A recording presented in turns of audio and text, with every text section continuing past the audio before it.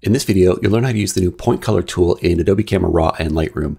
It's a great tool for an image like this where I want to unify the background, sort of simplify these colors, and there's a lot of subtlety. I need a lot of control to do that. So this is a great tool for that. But before we get into this actual edit, let's step back and take a look at a test image. So what I have here is an image which has the entire color wheel ranging from full black to full white. So it's a great test case of a lot of different color issues. If we open up Adobe Camera Raw, and then go dive into the color mixer might be the tool you would normally reach for. And let's say we want to go work on the dark greens and do something to them. Well, if I go grab the green slider, I certainly can work on greens, but I'm working on all of the greens. And I can't be any more precise than this. This is it. It's a global tool with no refinement of tolerance. So nice for simple jobs, but it's certainly not going to let us work on specific shades of green. So then you might want to go instead reach for the local adjustment. We can go to range, color range. And with the color range, I can go and sample a darker green. And here we're seeing the mask and it's actually grabbed all of the dark colors. So very, very broad initially, but I can grab the refine slider and bring that in. And now I'm down to a more reasonable range of greens, but it's still the entire range of greens and even getting to adjacent colors. If we go turn off the mask for a second, you can see it's over in the cyans, it's over in the yellows it really isn't that precise. So let's delete this. And now let's take a look at the new point color tool, which is available as a local adjustment, but I'm going to go to the global version. So go to the color mixer, go to point color, and then here is the new interface. And it'll probably look like this when you first open it up. What you do is you first sample something from the image. So you're picking a target color. So I'm going to go pick that dark green. And what I'm sampling is the hue, saturation, and luminosity. And they're now showing in this plot. So these dots are showing me my current hue and saturation on a 2D grid and the luminosity over here. And there's both a small dot and a big dot. When I go move the big dot around, I'm telling it what I want to go to. So if I grab this green, I can make it less saturated. I could go and make it more yellow. I could make it brighter with the luminosity. So I have, you know, full HSL control here within these color grids, or I can do the same thing with the slider symbol. You can see it's moving these things. So it's the exact same thing. This is just telling me what kind of change I have.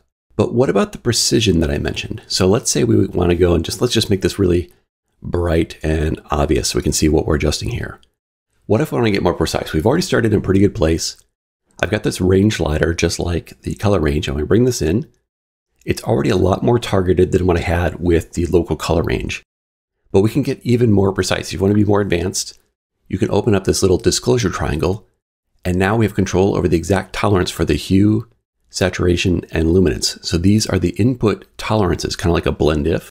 And so I can tighten these up. If I bring in the hue here on the left and bring it in on the right, you can see it's narrowing down the width here because that's my hue. So I can go all the way to this dot. This dot is my original sampled color. So I can go all the way into that. And you can see now I've got a very specific hue.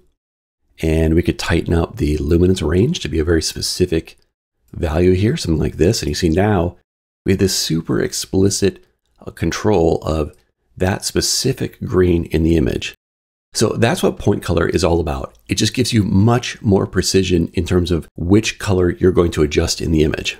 But before we move on, I do want to show one little caveat to this tool. And I'm just going to go and make this thing a little bit more obvious. We can see this here. With the other tools, they generally work on the underlying image and they're not very sensitive to other edits you make. The point color, though, is kind of working on the very last color of the image and should be the last thing you do. If I go make other changes to the color in this image, it will affect the hue and saturation and luminosity that it's looking at and actually change the pixels that it's working on, which is very different from the local color range. To demonstrate that, let's go and do a linear gradient. I'm just going to put it off to the side so it basically affects the entire image. And what I'm going to do is change the hue of the entire image. And you see when I do that, that my targeting for that point color is moving all over the image. And if I were to go and change the light values to start making it darker and brighter, see how that moves around. So that's one little watch out with the point color. It's an awesome tool, but it should be the last thing you do to your image because other changes could cause it to affect different parts of your image. So that out of the way, let's cancel this and go back to our actual edit. So going in here, again, what I want to do is simplify this background. It's a beautiful arrangement of flowers, but I really want to focus on the main flower and the ring. And to do that, I'd like to simplify some of the variability in the hues in the background, maybe kind of unify the tones a little bit, and just help bring the viewer's eyes towards the center. Not very much, just very, very subtly. To do that, then, let's take a look at how we might make some adjustments. With the point color, I can go and sample, and let's go grab this magenta purple color here.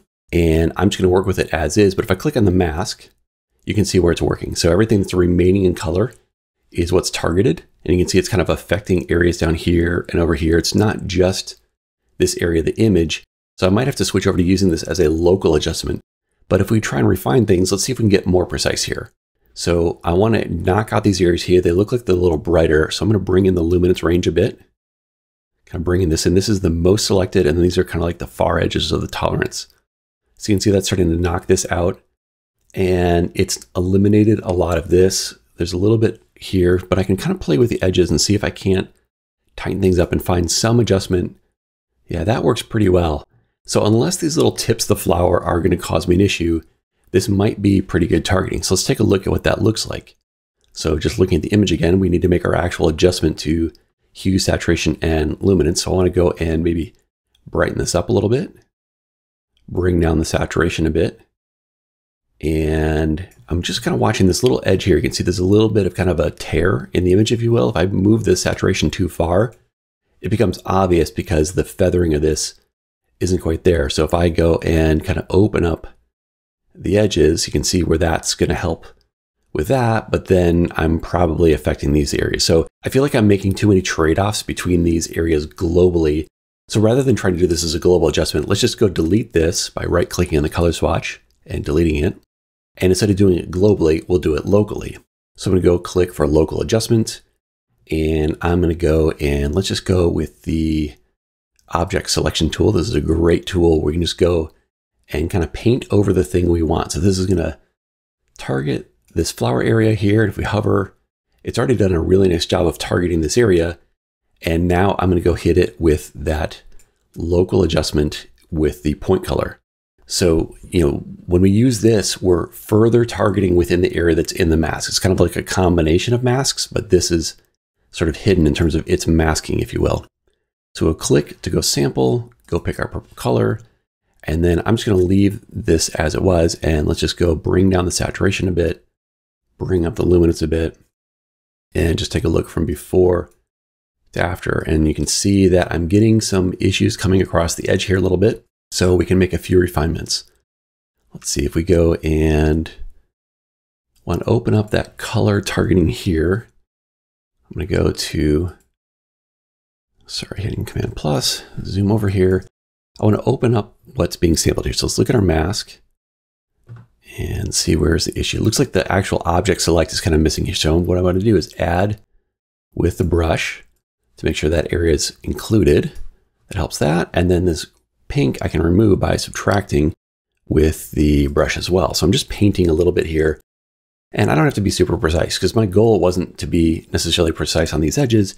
It was really just that I didn't want my point color to affect this part of the image. And it doesn't because now I'm working up here. I could have just painted the whole area. So maybe object select was complicating things too much.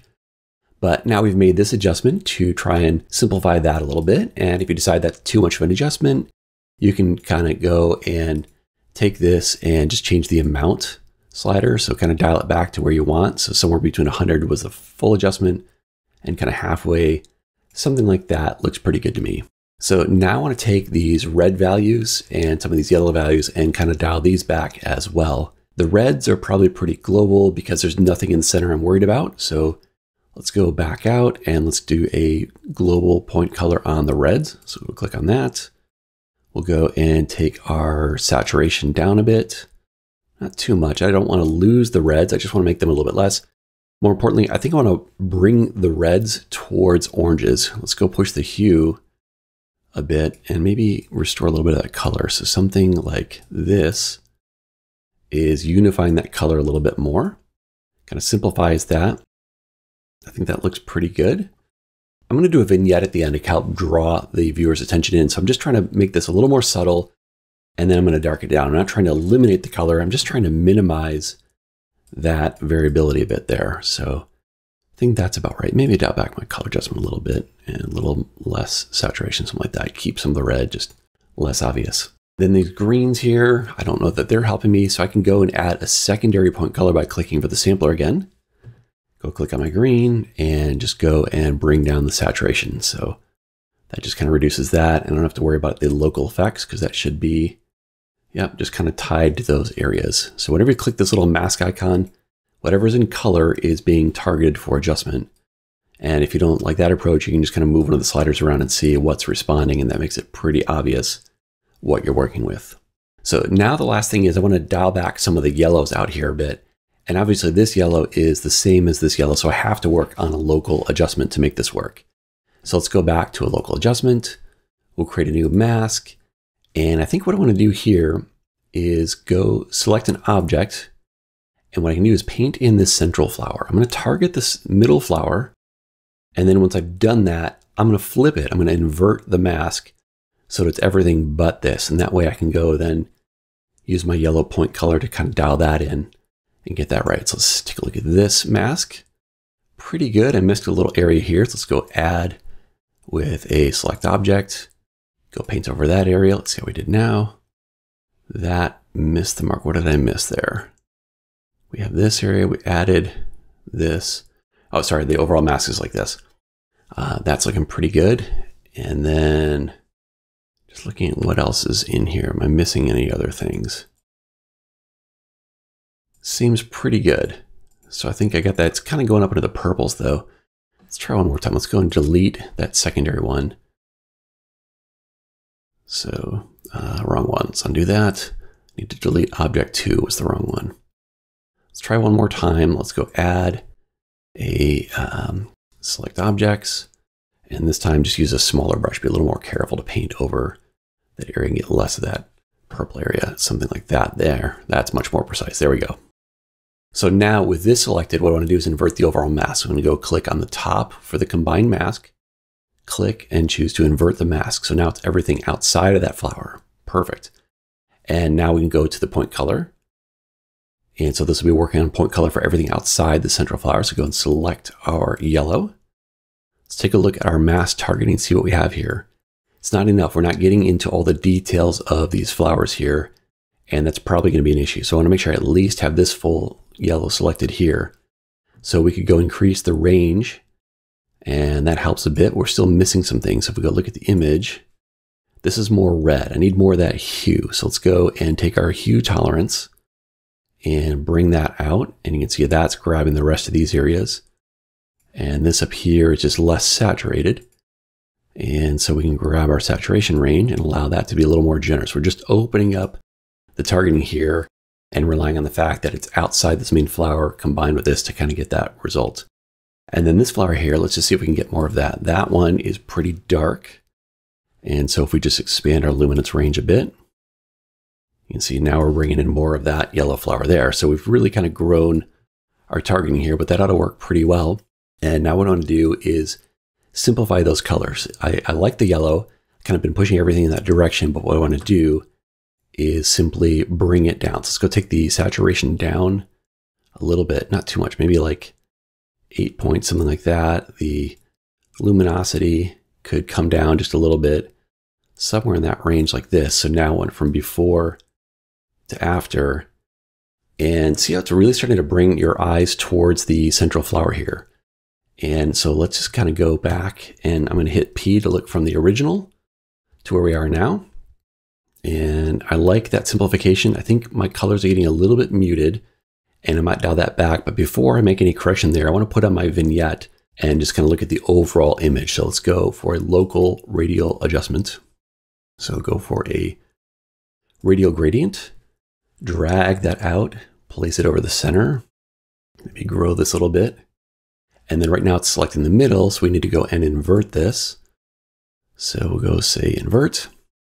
And then I can go down to my light area and bring down the highlights a bit to kind of darken things down like so. And let's see how this looks from before to after. So I still want to bring this back a little bit, but we're getting awfully close. So I need to take this red adjustment, which was I think done globally. Let's go back to our global adjustments here. I think it's this one.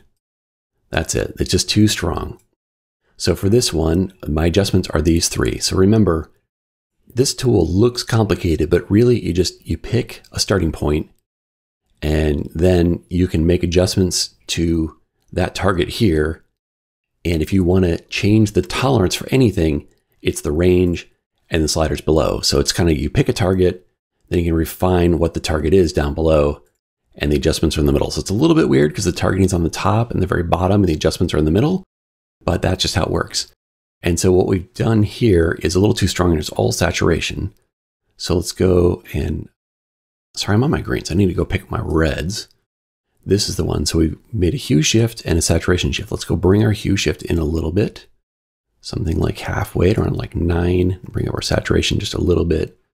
Was it like, I think yeah, something like that. Maybe uh, kind of back where I was actually. I think that looks pretty good. And now just look from before with the P key to after. And it's a subtle thing that I think just really helps this image sing. If you personally want to change the ratios on any of this, you can nudge these colors to any hue value you want. You have total control of the raw processing of this image. Now to learn more about processing raw images with Lightroom and Camera Raw, click to this next video.